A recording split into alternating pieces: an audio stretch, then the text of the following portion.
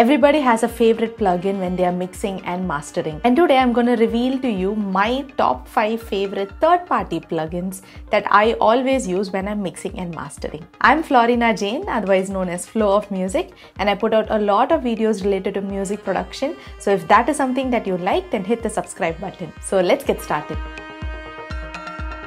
The first plugin that I'm going to show you is an EQ plugin from FabFilters. So Pro Q3 from FabFilters is an excellent EQ plugin and I really love this a lot for lots of various reasons and I'll tell you why. So number one, when I am playing a track, all these wave lines come in, right? In a normal EQ plugin you get in Logic, you can't control them accurately. But over here, when you get these lines, you can just hover over that and it becomes like this. So you can correctly select what frequency you don't want. Maybe let's say I don't want this and I can just reduce it like that.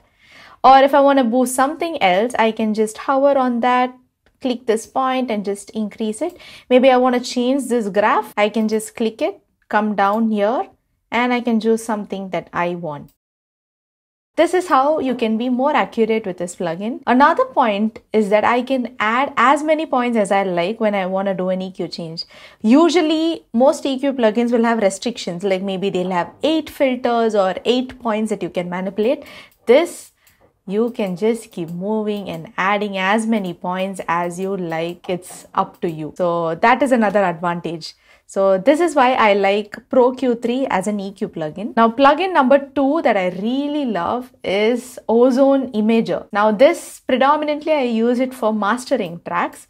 See when I play a track, this is the frequency that you get. So suppose your track doesn't have the actual width that you need and it's sounding very much in the center and not wide apart, then you can control the width. You can technically increase the width by using this plugin. Predominantly, you will want to increase the high frequency area. So when a track is playing, you just put a band and you can solo it and listen to it also. So if that is what you want to increase the width, once you keep it, you will be having two lanes basically because we have two sections. This is section 1, section 2 and you want to increase the width of the second section. You can just raise this up. So as I keep increasing, the width of this area will be increased. If it is down, then it's more you know, pan to the center kind of a thing. When you have the final track ready for mastering, you can maybe add this and slightly increase the stereo width and that will sound really well. There's another cool plugin I want to show you and it comes in iZotope only and it is tonal balance control. This is a very interesting plugin. This as such doesn't do anything. It just shows you whether the track is having the right lows, low mids, high mids and highs. Basically when it comes within this area, it means you're on the right track. So as you can see this line is correctly within the limit right? So when it is like that it means that you are on the right track. If it goes slightly above or below then it means you need to fix some eqs or maybe adjust the volume. You can do whatever you want to fix that but it just gives you an idea of where you're standing.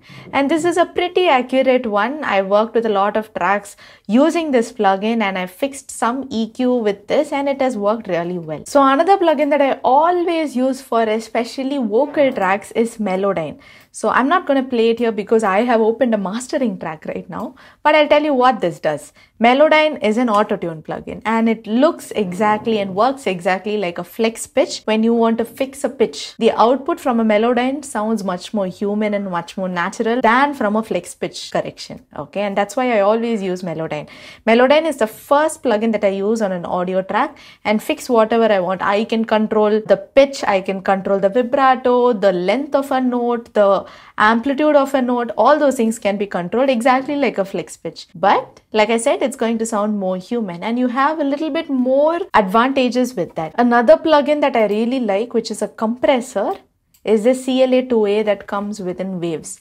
So this compressor works really well, especially on group tracks. That's what I have realized. So when you have multiple group instruments like multiple drums or the overall mixing end of the project. So in the stereo you want to just put one small compressor to glue them all together.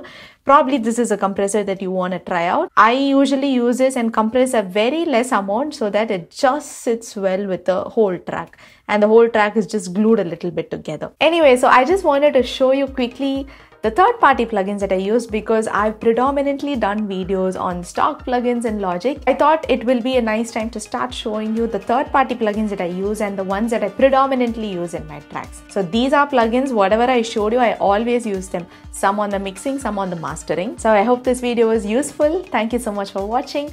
Never stop learning, keep making music and I'll see you guys in another video.